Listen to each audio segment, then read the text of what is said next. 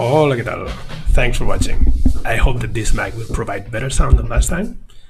And anyway, today I wanted to talk you something shorter as well. Hopefully you will bear with me until the end.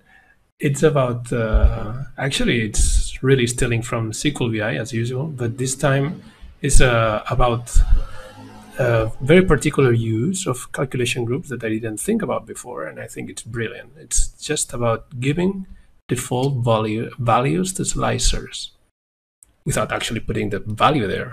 So doing it with calc groups. So shall we do it? Anyway, I'll jump right into the final thing.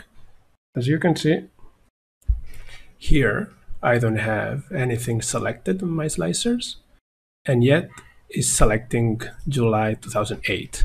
Okay, this in a regular um, use case would be like the current month, which is a, a, very common use case that people ask. I mean, can I, you know, make the, the month change automatically? And I mean, there are some workarounds, but not real good solutions.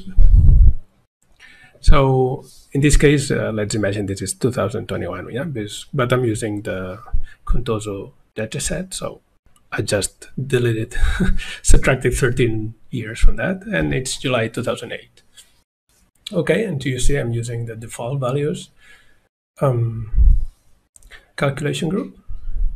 And when I do select something like May, it works just fine. It shows May. And if you select another year, 2008, there is something. Okay, this works. And then if I unselect this, we come back to July.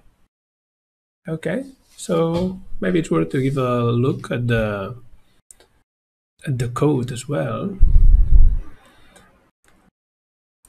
Because, well, it's pretty close to what uh, Alberto did in his video. In this case, there is only one little thing that we need to be aware is that we're using both columns from the same table. Okay, so in this case, we use ISCROSSFILTERED, we put just the column and we remove filters from the other one yeah, because we just want to see if there's a filter specifically on that column or not. And with this approach, this works fine. Also, since I just had two tables, I didn't go for like the full-fledged solution that they were pointing to. Um, I just uh, also put into variables the treat as part so I can reuse it easily here. And that's about it. Okay, I just realized this is too small, but I'll just zoom in the video. Sorry about that. Okay. So if we go back to the here also I think it's very good because this uh, default values thing also there's solves another use case or another situation in which you want to make sure that there is at least one item selected yeah you can maybe you can have two or three but you don't want to you know just leave it completely all selected just when they clear the, the slicer yeah so here, let's have a look at what happens if I don't have my default values. Okay, here I have both, so it's all good. Now I don't have default values, and I clear that. So if I clear this one, I clear this one, is uh, this is completely awful, right? So you can see some benefit already from just using default values. So it's like having always a backup. Uh, if you don't want to select anything, I'll just show you something that is meaningful and probably is what you want to see. If you want to play around, just select what you want.